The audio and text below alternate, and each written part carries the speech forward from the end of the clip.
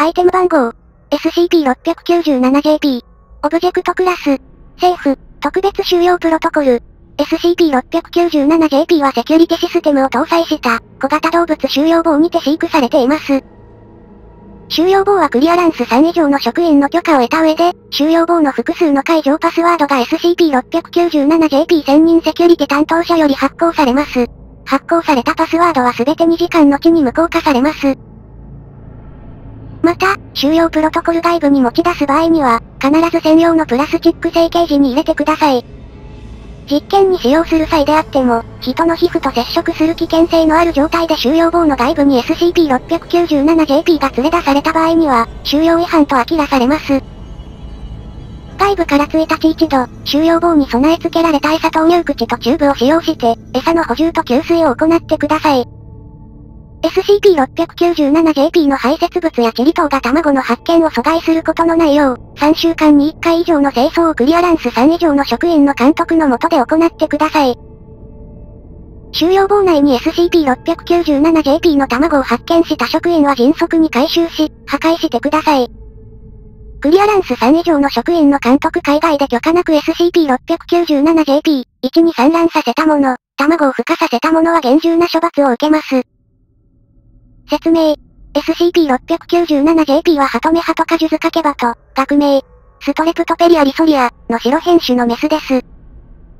外見や肉体の構造上に異常は見られませんが、人の皮膚に接触した時その異常性を発揮します。SCP-697JP は人に接触された場合、約20秒後に産卵します。産卵直後の卵は 2cm ほどですが、1時間20から 15cm ずつ肥大します。120からセンチの大きさにまで肥大した卵の殻は自ら破れ、中からは SCP-697JP に接触した人を完全にもした身体が前屈姿勢の状態で出現します。以降これを SCP-697JP、A と表記。SCP-697JP、A は古傷や健康状態に至るまで、身体の状態が模倣元と完全に一致していると判明していますが、生命活動が停止しています。また、生存していた形跡も発見されていないことから、死体の状態で生成されているものと推測されます。SCP-697JP、A が致命的負傷を受けた場合、加害者は SCP-697JP、A のオリジナルを殺したと確信する現象が確認されています。これは、加害者が SCP-697JP、A とオリジナルを同時に視界に入れていた場合でも変わらず、加害者はオリジナルの生存を認識できなくなるようです。この異常要性は、致命傷の場合のみに現れ、致命的ではない負傷や、削除済み、の場合には確認することができませんでした。SCP-697JP は、長崎県南島原市、海岸にて、鳩が知り合いの死体を温めている、と住民から現地の警察に通報が入った際、別任務のため現地住民に扮して潜伏していたエージェント、によって警察が現場到着するより先に回収され、事なきを得ました。SCP-697JP 捕獲の際、エージェントは SCP-697JP に接触したと証言しています。SCP-697JP から生まれた卵は確保から約1時間後に孵化し、孵化したエージェント。モデルの SCP-697JP、A には収容経路にて破壊されました。破壊されたこの SCP-697JP、A には現在特別霊安室にて保管されています。詳細の研究が終了したため破棄されました。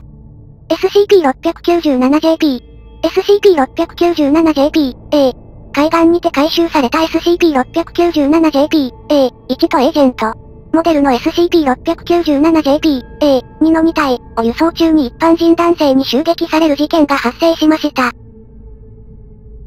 この一般人男性は SCP-697JP、A、1により2つであったため、SCP-697JP、A、1のオリジナルであると想定されます。エージェントは男性が、島原の民を救うために私有が使わしたのだから、としきりに発言し、SCP-697JP の返却を求めてきたと証言しています。エージェントが返却を拒むと、男性は激高し、エージェントを所持していた日本刀で殺害しようとしました。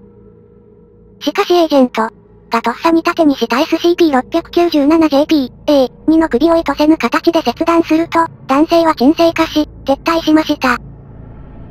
後日財団職員により捉えられ、インタビューを受けた後、A クラス記憶処理を施されました。インタビューの内容は以下です。対象、南島原市出身の一般人男性。調査された経歴に不審な点は見受けられなかった。インタビュアー。尋問官。録音開始。インタビュアー。なぜ彼を襲撃したりしたのです？男性。お前たちがやったことだ。我々は苦しめられていた。ただ信仰に救いを求めただけなのに、お前たちはそれを踏みにじってくれた。インタビュアー。私たちが今まであなたに接触したことはないはずです。それに、エージェントはあなたとは初対面であったとおっしゃっていましたが。男性。死んだ男が何を語る。我々ハ種の救いをもってして、成人だけでも生かさねばならない。インタビュアー。あなたは、3で間違いないですね。男性。インタビュアー。ありがとうございました。インタビューを終了します。録音終了。終了報告書。男性は原因不明のミーム汚染に蝕まれていることが判明。インタビュー後、これ以上状況を判明させることのできる情報は期待できないとして、A クラス記憶処理の後、正常な精神状態と記憶を取り戻したため、解放した。ほい。20年04月11日、SCP-697JP が人との接触が完全に断たれている状態で散乱しました。卵は肥大せず、やがて帰りましたが、SCP-697JP、A ではなく、ラテン語の分子用ガスミによって書かれた横 20cm、縦 12cm の和紙が出現しました。内容は以下です。Qui de tantis periculis eripuit nos et eruit in quem speramus quoniam et adhuc eripiet。なお、この事件により SCP-697JP が卵を生み出すメカニズムと卵から生まれる物質の不確実性が判明したため、オブジェクトクラスのユークリッド昇格が現在検討中です。